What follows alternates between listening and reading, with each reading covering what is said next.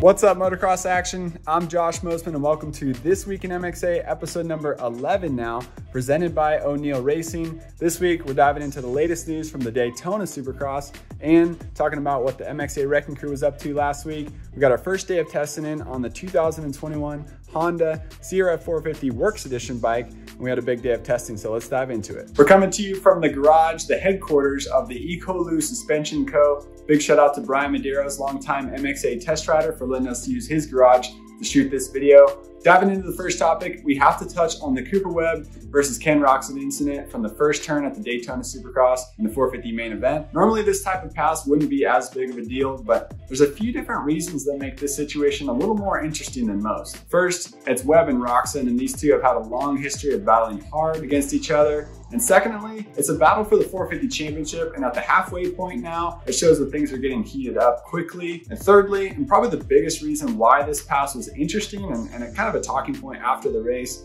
is the fact that Ken Roczen was so upset about it after the races were over. This season, Ken has been fairly calm, cool, and collected, but after the 450 main event, he was not happy. And even though he didn't finish on the 450 podium, he stuck around after the race for a TV interview to let everyone know that he's not happy about Cooper Webb. When asked about it in the post-race press conference, Cooper Webb said that Ken was running his mouth after they got back to the pits, and he said that Ken Roczen wasn't too pumped about it, but Cooper really wasn't sure why. It's just kind of a racing incident. Another aspect that played into the second corner situation was the distance from the inside of the turn to the outside of the turn was massive, a lot bigger than what we see on a typical supercross section where the track is a lot skinnier. Daytona Supercross creates a very unique track layout where the berms are much farther out from the inside of the corner, especially at that corner. We see guys like do this kind of stuff in Supercross all the time where they block a rider's line, take them to the top of the berm, and then keep going. But this time with the track being so much further out, it definitely extended it and made it seem a lot more aggressive.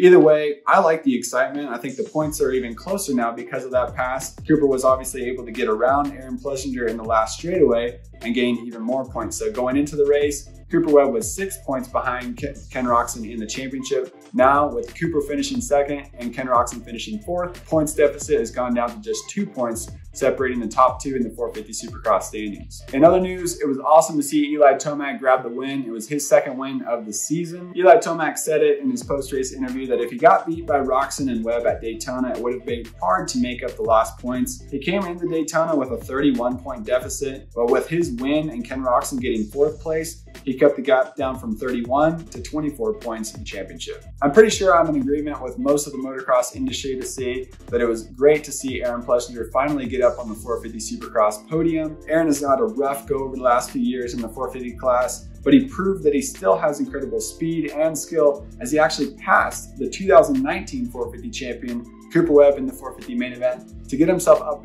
into second place and actually pull away from Cooper and hold him off for most of the race until finally in the last straightaway, Cooper was able to get him on a little bit of a surprise attack. Diving into the 250 class, it was a heartbreaker, the start of the night show with major red flags going on in the heat race for the 250 division and with two red flags in the 250 LCQ. Then when the gate dropped for the 250 main event, it was rookie Stilez Robertson on his Rockstar Husqvarna to grab the whole shot, hugged the inside of the second turn, which proved to be difficult throughout the night, got into the lead early. He led the first eight laps of the main event, so over halfway, Stilez Robertson was leading. After landing on Jeremy Martin at his Supercross debut at the Orlando Supercross season opener for the 250 West Division, he ended up racing that main event without a front fender.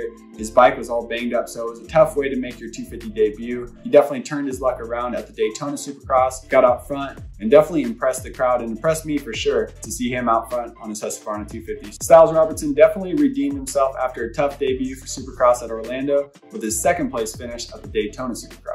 Cameron McAdoo was fast at the 250 West season opener at Orlando 2, but it was really Justin Cooper who stole the show on a Star Racing Yamaha. This time, McAdoo was the man to beat at Daytona as Cooper was struggling with his starts. It's going to be interesting to see what happens next in the 250 West division as we go to Arlington, Texas this weekend for our triple header. Justin Cooper has had a lot more experience winning races and scoring podiums, but Cameron McAdoo is looking solid this season and he's going to be coming into Arlington with a lot of confidence after his first ever 250 Supercross win. And finally, in the 250 class, we also have to congratulate Pierce Brown. He spent the whole season recovering from ACL surgery, and he's only been back on the bikes for a few weeks. For him to get third at what was his first race of the season was huge for the Troy Lee Designs GasGas team. Pierce Brown skipped the Orlando Supercross because he wasn't quite ready to go racing after his ACL injury, and he spent that extra two weeks by not racing Orlando, getting ready, prepping for Daytona Supercross, and it obviously paid off for him as he finished off strong, passing his way through the pack to get third place and hold off Justin Cooper in the last lap of the 250 main. Transitioning from Supercross into what the MXA Wrecking Crew is up to,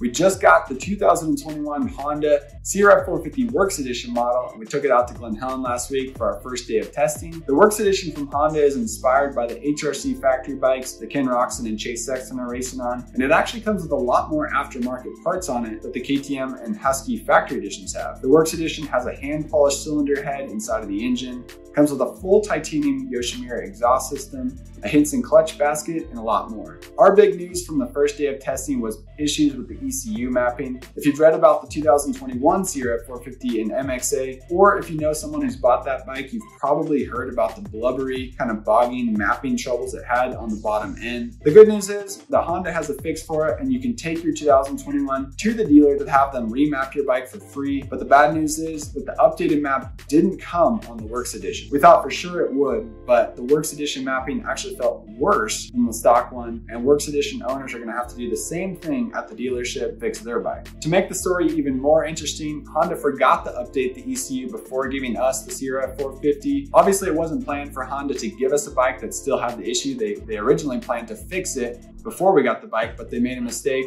didn't fix it, and I got to experience exactly what you would feel if you bought the bike off the showroom floor and took it straight to the track. Luckily, they were there. They fixed the bike for us while we were at the track, and I got to compare what it was like in the stock form, right when you buy it off the showroom floor, to what it's like after you have your dealer remap it for you. So we got the full video on the motocrossactionmag.com website or on our YouTube channel. You can check it out there and hear our experiences throughout the day of testing on that bike and really adjusting with the mapping and uh, playing with the issues that it had. Next up, I got to do an awesome interview with the king of Supercross, Jeremy McGrath last week over Zoom call. It was an honor for me to talk to him for a while and I got to ask him all the questions I wanted and he was super open and honest with each of his answers. In the interview, I got to ask Jeremy about his thoughts on the current Supercross season. I asked which rider he's been most impressed with since he retired and I was actually really surprised with his answer. I got to ask him about his favorite bike from back when he was racing and his favorite team, the favorite atmosphere that he was surrounded with when he was racing as well. I also got to talk to him about his original retirement when he signed with the Red Bull KTM team and he was struggling on the bike before he eventually got injured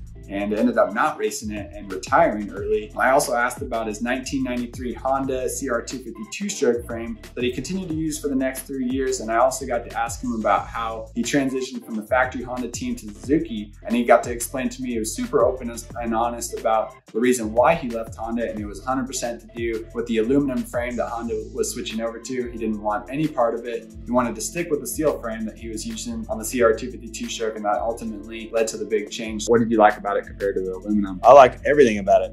I didn't like anything about the aluminum bike. I got scars on my chin to, to prove it. Really? Yeah, that aluminum bike just bit me a lot of times quickly. Look, I know it was a learning period, but they didn't need to do that to me. I had won four championships in a row. They should have timed that a little bit better, you know? Uh, in a perfect world, how cool would it have been to have like seven, eight, seven championships at Honda? I mean, that would have been cool. They should have thought a little bit more about that. It was super cool for me. It was, it was an honor for me to be able to, to speak with Jeremy McGrath, and I uh, hope you guys will like that interview. And finishing things off for this week in MXA, episode number 11, I got to give a big shout out to Brian Medeiros. He's been an MXA test rider for over eight years now. He's also worked in the suspension industry as well, and now he's branched off. He's doing his own thing with Ekolu Suspension Co. So let's hear from him. What's up, guys? Brian Medeiros here with Ekolu Suspension Co. I've been in the suspension business for about five years now and uh, just started this new journey with Ekolu Suspension Co. My goal is to provide customers with service that uh, make them feel like they're a factory rider. Uh, they can call me anytime, text me. I have a lot of knowledge with these, these newer bikes now. Testing with MXA, I'm able to ride all the new models before they even hit the dealership floors and um, get a baseline for what they feel like and what it needs stock. That way I have that information to provide to my customers and point them in the right direction on what to do with their, their new bike. All right, guys, that's it for this week in MXA, episode number 11, presented by O'Neal Racing. Thank you guys for tuning in.